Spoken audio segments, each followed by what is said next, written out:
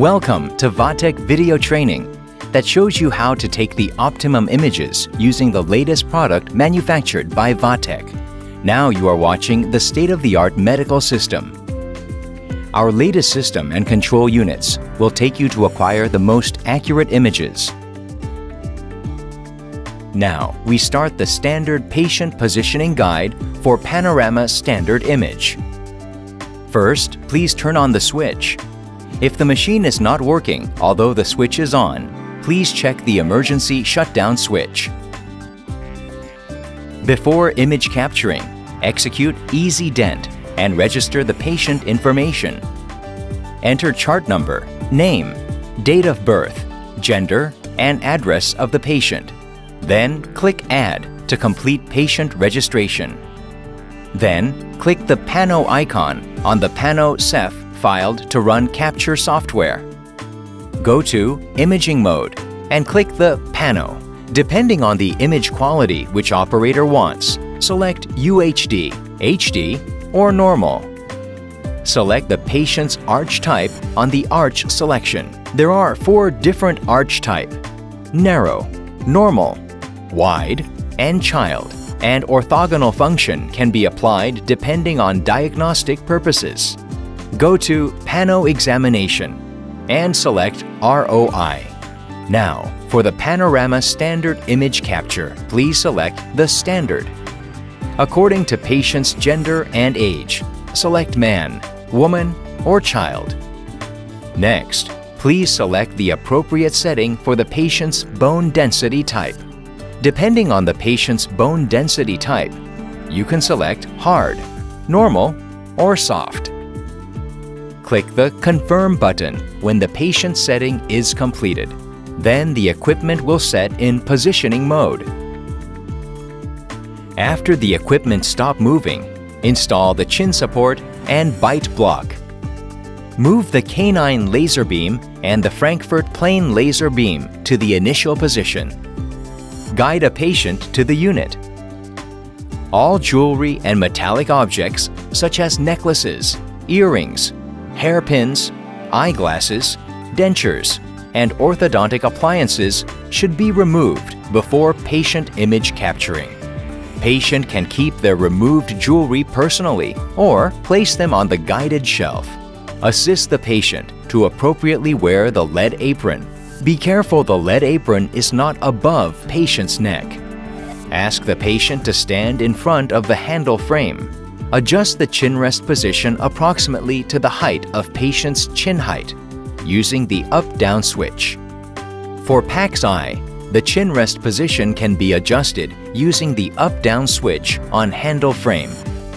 Place a hygienic cover over the bite block and ask patient grasp the handle.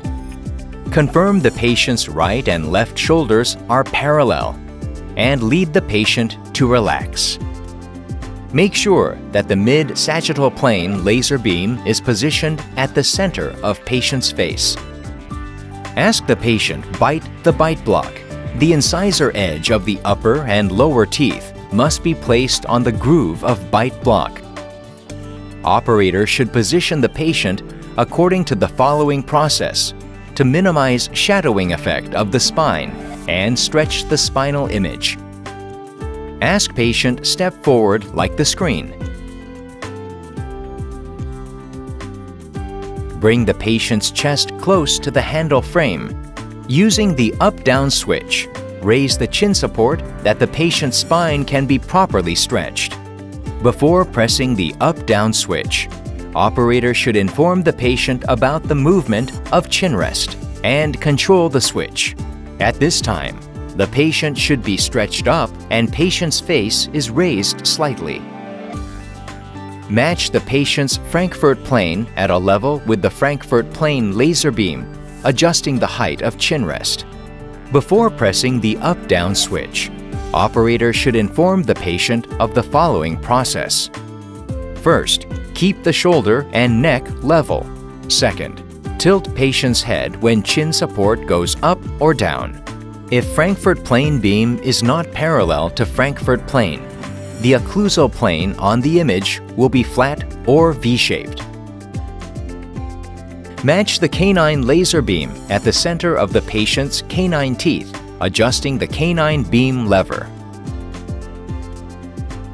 If the location of canine beam is off the patient's canine position, incisor image can be incorrectly magnified, which means reduced or enlarged incisor images are achieved by incorrect capture layer. When everything is ready, rotate the temple support wheel to tighten the temple support to stabilize the patient. During image capturing, ask the patient to close the eyes and place the tongue to the hard palate.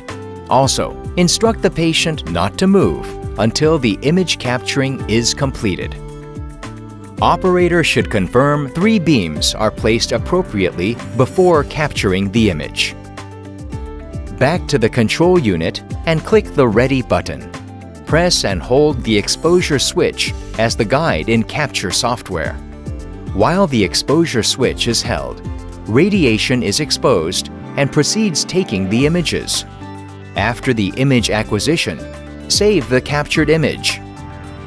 If you purchased license of AF mode, select and save the optimal image using mouse wheel. If the manual save is set, click the Save button to save the image. After the image capturing, unfasten the temple support. Then guide the patient out of the unit.